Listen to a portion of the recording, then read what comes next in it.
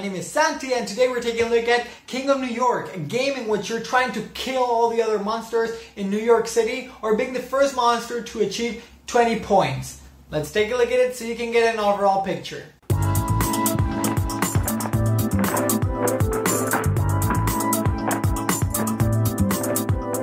Well, this is what King of New York looks like. In this game, you're trying to be the first player, monster, or character to receive 20 points or to be the only monster left in New York City. How are you gonna do that? Well, the game works based on a basic mechanic that is dice rolling. What are you gonna do with this dice? You can roll them once, you can choose to re-roll them, and you can even re-roll them twice if you want. Let's say instead of this, I have rolled this, this, and this. So I'm sheriff and I'm in Brooklyn District. Okay? So, next thing I do after I've rolled, re-rolled, and re-rolled for even a third time if I want is resolving my dice. Let's say that the first thing I do is I receive with this dice one energy because this dice give me one energy for each lightning they show. Okay, if I had three lightning dice, I would receive three energies, but as I only rolled one, I receive one. Next thing that happens is that I rolled this dice with a heart in it, and that allows me to recover one health point. But as I'm already in 10 health points, I can receive 11 unless I have a special card that allows me so. Next thing I do is with this punch dice, I deal one damage to the character that is in Manhattan District, that is the main district in New York, in King of New York. So the character here, which is Rob, will receive one damage. Next thing that happens is that with this uh, dice, I destroy a value 1 building. So I will flip this over. This gives me one point because there's a star there, and I flip it over. So I earn one point. And there we go.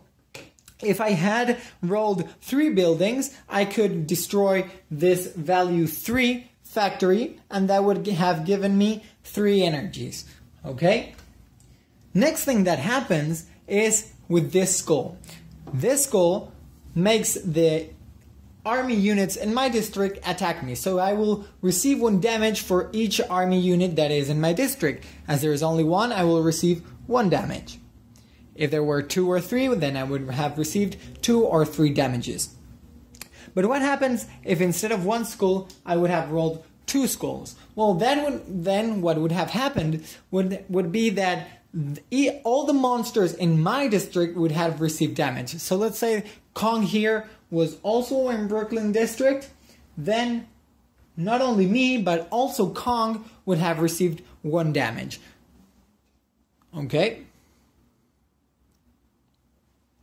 But there's another option. Another option is that I have rolled three skulls. What would have happened then? Well, all the monsters in New York City, no matter in which district they are, would have received received uh, uh, damage from each army unit in their district. So let's say in Manhattan there were three army units, then Rob would have received three damages, Drakonis zero, and Kong and Sheriff one damage, and that's it.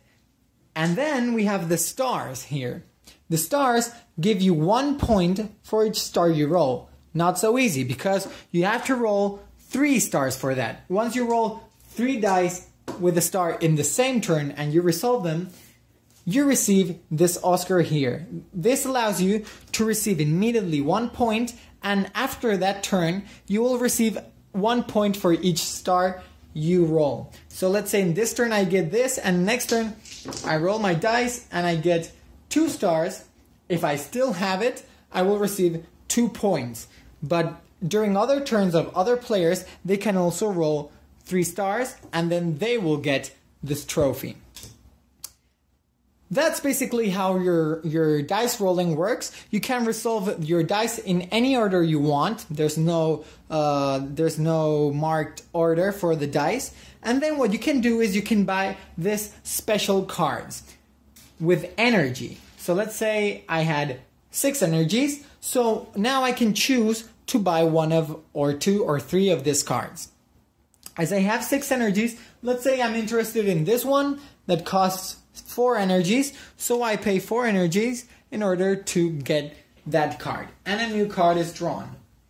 Another thing I can do with my energies is spending two energies in order to discard these three cards and draw three new ones. Da da da da. Okay? As you can see, there are two types of cards. We have permanent cards and we have instant cards. Permanent cards, once you've bought, once you've bought them, you put them here, and the effect is permanent for the rest of the game.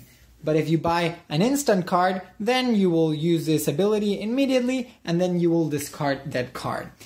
So, at the end of your turn, you will check if you have earned 20 points or if you're the only character left in New York City. If one of those things happen, then you're the winner of the game.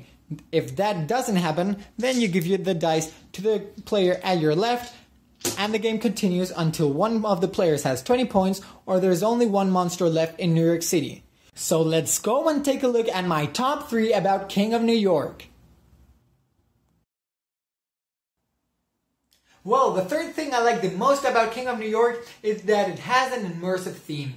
It might seem at first that it is not a really new or or brilliant theme. It's just like a Godzilla theme in which monsters are trying to kill each other in the middle of a city.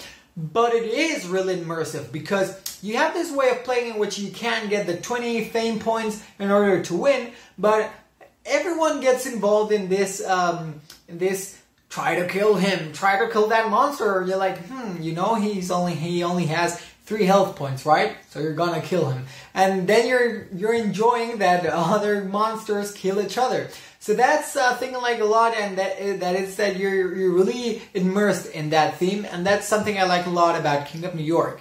The second thing I like the most about King of New York are these silly monsters we have here. You can't see this fish, that this is hilarious for me. Then you have this uh, dragon with a machine gun. Then you have this gorilla with the electronic punches. You have this crazy dinosaur called Sheriff that is trying to kill everyone. I don't know. I, I just find them fun. And I think that, that they're really funny. I think they're they're really well designed. The art is cool. It's cartoony in order to be a little bit friendly. Okay, you're trying to kill each other, but just in a fun way. So that's something I like. I like a lot the the silly monsters that come in the game. But the thing I like the most about this game is that you can play it two ways. You can play the smart way, in which you're trying to make a tactic in order to to get those 20 fame points as early as you can, or then you can play the hard way. You're just trying to kill everyone, punches, punches, punches, and recovering health points. I like that you can combine that two ways of playing, or you can go hard with one or hard with the other one. I like that. I like that it's a game that doesn't have only one one way to go or or there's not it's not clearly better to go in the hard way or clearly better to go in the the smart way and trying to do that tactic to get the 20 fame points. I like that both ways are okay and you can combine them. And that's something I like a lot about King of New York. In fact, is the thing I like the most about King of New York. So let's go to my ratings. Okay, so for the theme, I'm gonna give King of New York an 8. I'm gonna give it an 8 because this theme is so immersive in the game. You're just getting involved and more involved in this dynamic of killing monsters and destroying the city. And you just feel like a monster in the city wanting to destroy everything and killing everyone. So that's a really good thing about the game. I'm also giving it an 8 because I think that King of New York, well, IELLO, first with King of Tokyo and then with King of New York, kind of has this this monopoly of of Godzilla theme of monsters trying to kill each other, and not because they were the, the one of the first ones to do that, but because they really did a good product about it. And the theme of King of Tokyo and King of New York, which are really similar, just is amazing. So that's the reason I'm gonna give it an eight for the theme. For the mechanics, I'm gonna give King of New York a 7. I'm gonna give it a 7 because I like that it has this dice rolling mechanic, but I like a lot more that you have this cards and this energy and this destroying the buildings that makes the game smarter than King of Tokyo and, and gives the game a, a bit of a maybe a more strategic uh, point to the game. However, the game is really simple.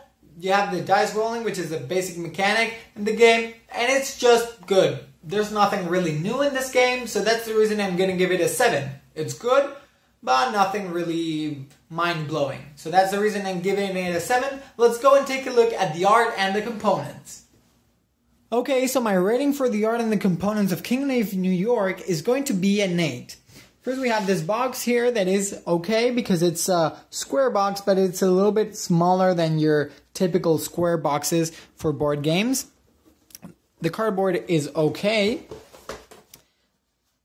Then we have the rule book which is good, is well written and it's only two pages, double sided. The problem for me is that it's square. I prefer rectangular uh, rule books but it's okay. It's just fine.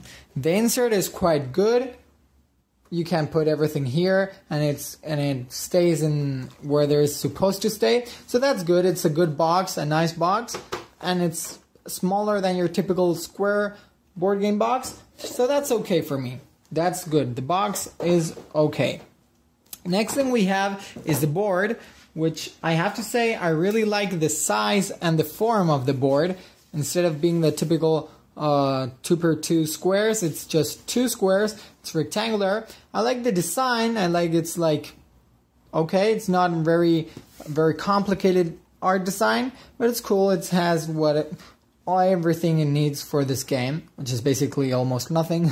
but it's okay. It's it's kind of cool. I like how the buildings, the Statue of Liberty are drawn. That's that's cool for me. That's okay. The board is okay. It has a good thick cardboard it's okay. Good. Next thing we have are the monsters, which are I find really cool because they're like this silly, uh, ridiculous monsters. We have this mantis with this, um, I don't know how you call that in English, a saw, an electric saw maybe. Then we have this Captain Fish, which is, which is a fish like in a kind of in a um, swimming uh, suit. Well, not swimming suit, but well, however you call that in English uh, that has this boat and the, and a chain. It's kind of cool. Then we have the sheriff here. It is just a crazy dinosaur. We have this electronic uh, gorilla. We have this crazy, aggressive, and destroyer dragon with a machine gun. We have this robot here. I think these are kind of cool. They're well designed. They they they fit in this game. They're like this silly theme of monsters destroying each one.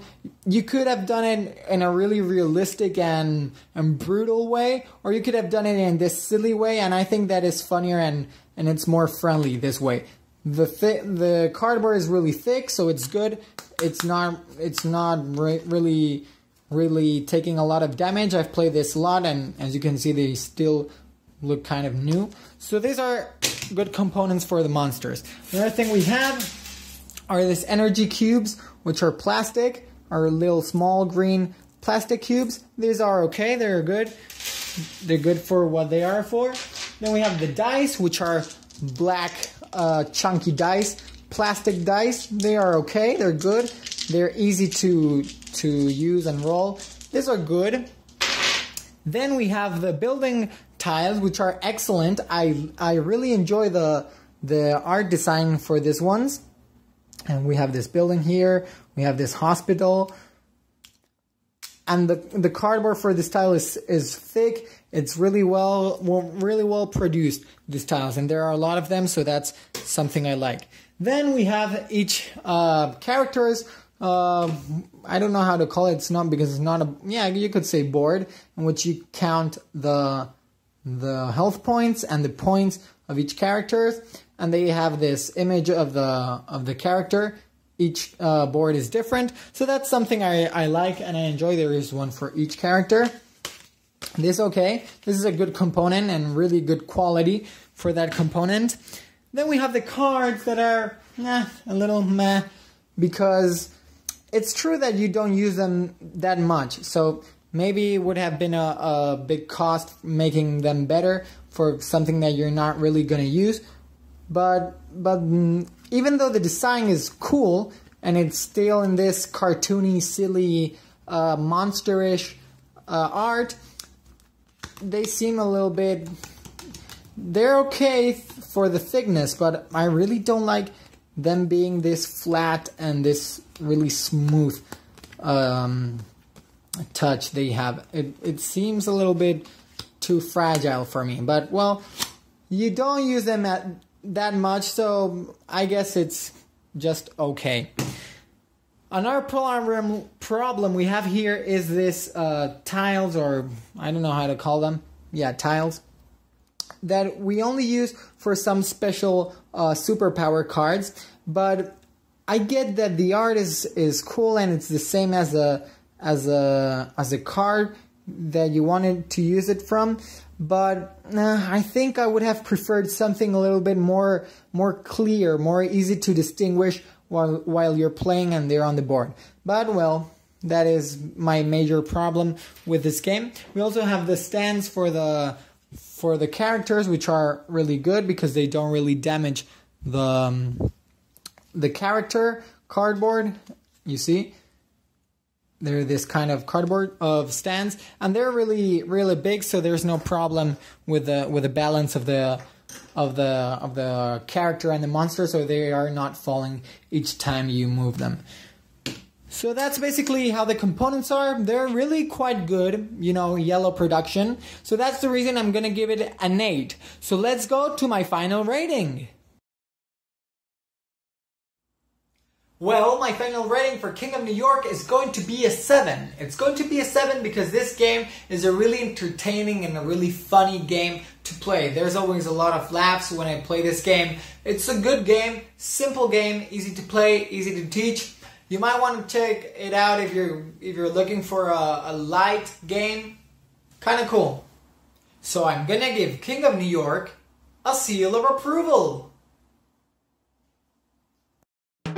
Thanks so much for watching the Dice Tower videos. Find more great videos and reviews, as well as our top rated audio podcast at Dicetower.com. You can also find other great shows at Dicetowernetwork.com. I'm Eric Summerer, and you've been watching The Dice Tower.